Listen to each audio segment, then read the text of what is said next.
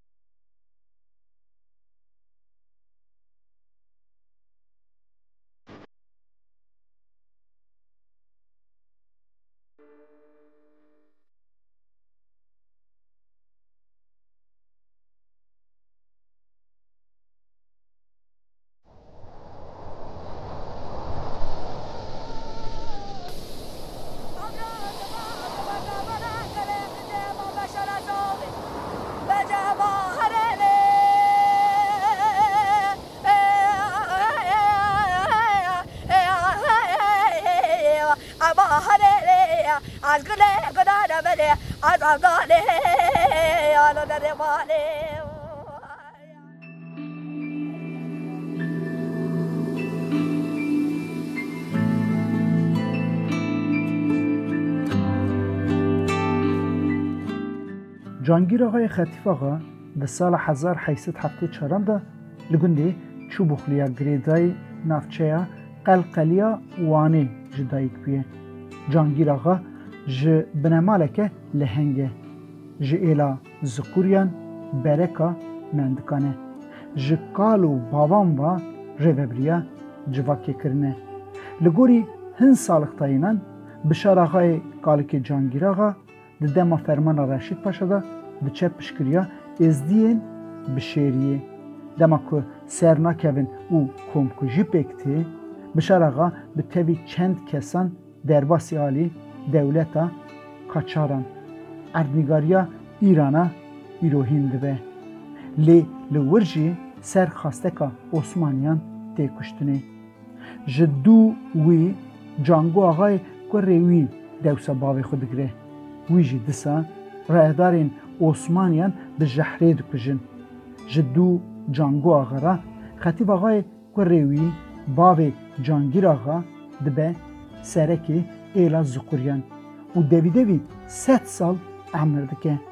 Ji dû wî jî di sala hezar neh sed çaran de Cangîr Axayê kurê wî dibe serekê êl û eşîrê. Lo bavo şer e, lo xwe yo şer e, şer giran e. Cangîr Axa kela mêran e, dîsa mêrê hawar û gaziyan e. Delêxe kekê fetila de tulêxe. Eskerê Romê reş giran e. De berdê ji kela Wanê derxe.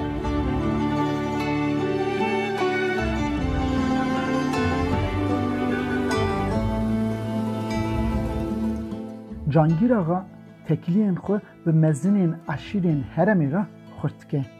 Ji bilî hin nexêrxwazan, hemû eşîr rêzdariyeke mezin nîşanî axê didin û di dîwana wî de cih digirin.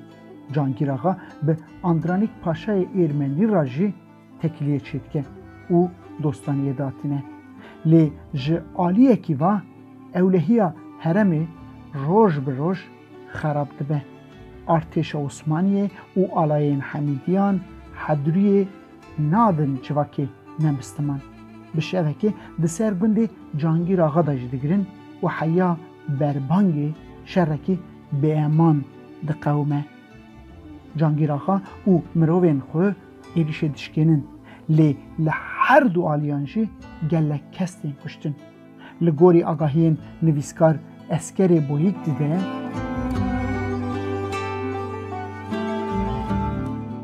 Sibetira rojê serokê eşîrên Cîran Sedûm Begê Şemskî, Huseyn Begê Takorî, Necîf Begê Mukrî û Cafer Begê Şewî tên hawariya Cîhangîr Axa û ji sera mexînê ji serokê Asûriyan hil didin, bi hev re diçin ba Cevdet Paşayê qaymeqamê qezayê.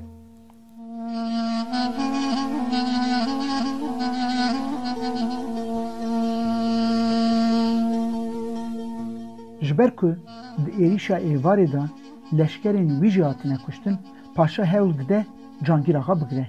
Lê dema ku serokên eşîran bertekê nîşan didin û li pişt Cangîr Axa disekinin, paşayê dî cilhet nake. Tahirxanê Qelenyeyê ku derbarê wî de gelek stran hatine çêkirin, ji alî Îranê ve êrîşî êla Huseyn Begê takorî dike. Cangîr Axa diçe piştgiriya Huseyn Begê. Li gorî agahiyên ku nivîskar Eskerê Boyîk dide, Tahirxanê Qelenyê Di wê êrîşê de bi derba Cangîr Axa birîndar dibe û xulamê Huseyn Begê Takorî Nisoyê Çopir lê dixe Taharxan dikuje. Lê ji bo pîşka mala Şero û Heyderiyên pizmamên wan negihîje Êzdiyan ev yeka pir nayê bilêvkirin. Nivîskar Pîr Dîma derbarê wan rojan de van agahiyan dide.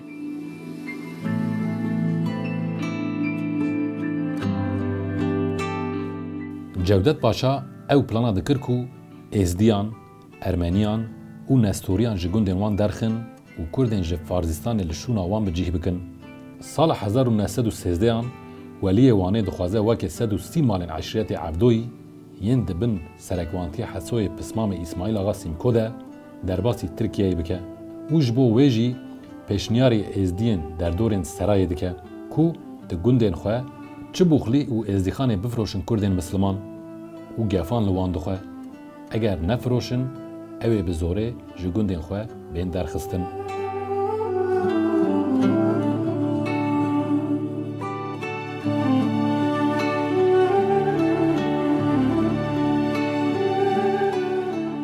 Mezinên Êzdî, Nasturî û Êrmeniyan vê gefê bi dîplomasiyê çareser dikin. Diçin ba cigirê balyozê Rûsan yê Wanê, ew li wan xwedî derdikeve û pêşiya vê cihguhertinê tê girtin. Di dema Şerê Cîhanê Yekemîn de Rûs ku berê xwe didin serhedê û qeza Serayê Mexînê hil didin, mezinên Kurdan dixwazin bi tekiliya Evdirizaq Bedirxan bek, bi Rûsan re hevkariyê çêbikin. Abdirizak Bedirxan Beg derbarê wê dîplomasiyê de di bîranînên xwe de wiha dinivîsîne. Dema General Nezarbeko qeza Serayê hilda, erdên pênc fermandarên alayên Hemîdiyê yên Serdar Begê, Necîp Axê, Osman Axê, Hesên Begê û Cangîr Axê ketin destê Rûsan. Ewan bi rêya Îsmaîl Axa lawê Osman Axê ji min re nameyek şandin û di wê de amadebûna xwe didan xuyan. Derbasî bal mebin. Daxwaza wan min ji Konsulê Rûsyayê li Makuyê re şand.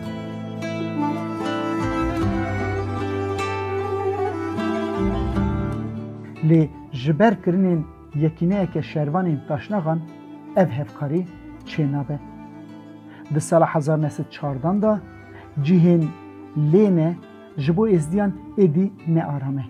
Ji ber wê Cangîr Axa bi civakê dişêwire, kekê fetla gela mêra Kafir Hirço siwar dibe, êlê dide dû xwe ber bi bazî dû giya dinê bar dikin. Êl dema ku digihê Herêma Geliyê Zîlan bi êrîşeke mezin re rû bi rû dimînin û komkujiyeke mezin pêk tê. Andîranîk Paşa xwe digihîne hewariya destbirakê xwe û yên mayî ji kuştinê xelas dike. Êla Ziqûriyan tên û gundên qeza Gîadinê de cih dibin. Cîhangîraxa bi xwe di Ûlûkentê de dimîne. Cangîr Axa ji bo ewlehiyê yekîneyeke xurt ava dike û bi rayedarên rûs û êrmeniyan re jî tekliyên xwe xurt dike. Di sala hezar neh sed panzdan de di şerê Dîlmanê de li ser xasteka Andranîk Paşa diçe.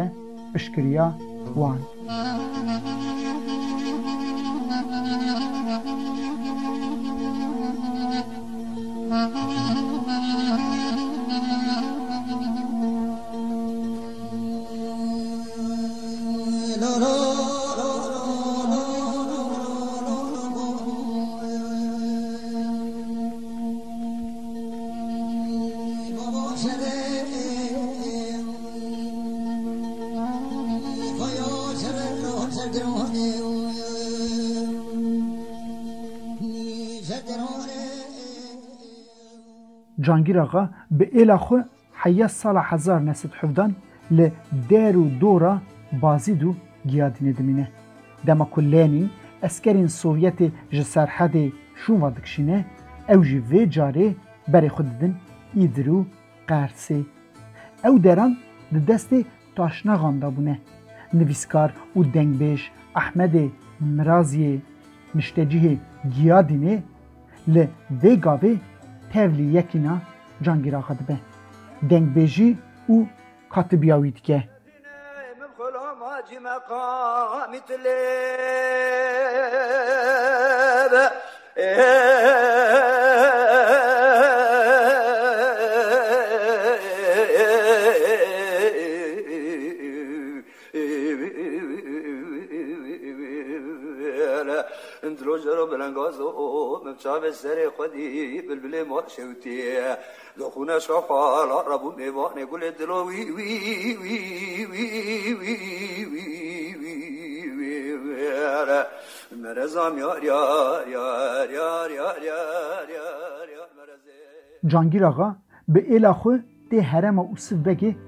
Hesinî, Sûrmeliya Îdirê li vir her du mêrxas tifaqeke xurt çêdikin û xêra vê tifaqê ne bi tenê gelê xwe, gelên heremê jî li Qersê, Sariqamûşê û Qafqasyayê ji komkujiyan diparêzin.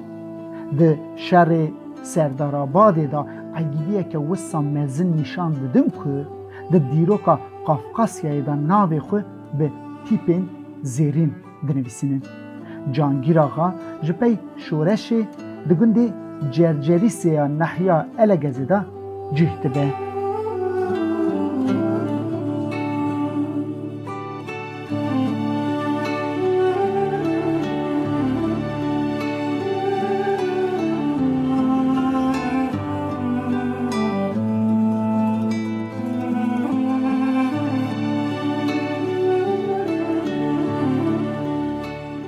Serokê Ermenistanê wê demê Axasî Xanciyan wek cangîraxa ji xelkê Wanê bûye û bi malbatî hevdû nas dikin û hurmeteke mezin nîşanî axê dide.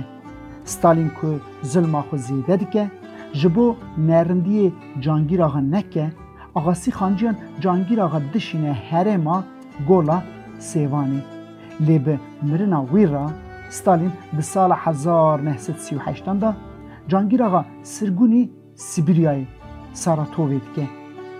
Di baregehên êsîran de, di karên geran de xebitandin, ne karê Cangîr Axayê şêst neh salî ye. Hunermend Emerê Feyzo derbarê rojên cangîraxa yên Sibîryayê de vanegahiyan dide.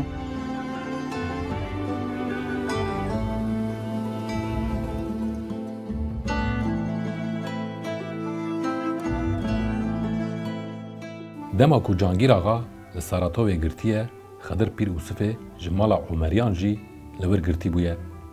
Di cotmaxa sala hezar û neh sed û çil û sê an de Cangîr Axa giran nexweş dikeve.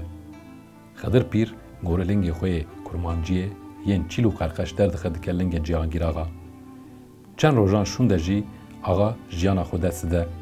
Lê nahêlin Xedir Pîr nêzî wî bibe. Dema ku Cangîr Axa dispêrên axê, Xedir Pîr ji dûr ve cihê çêl dikin dibîne.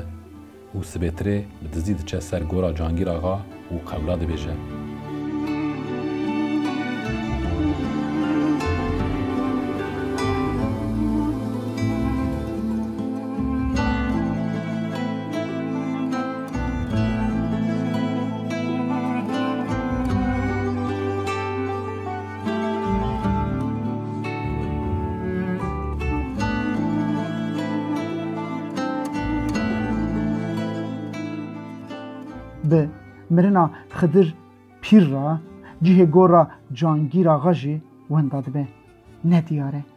Lê sed çil salî şûn da hê jî nav û edeleta wî û Xetîb Axayê bavê wî seranserî welat û taybetî jî Wanê tê bibîranîn.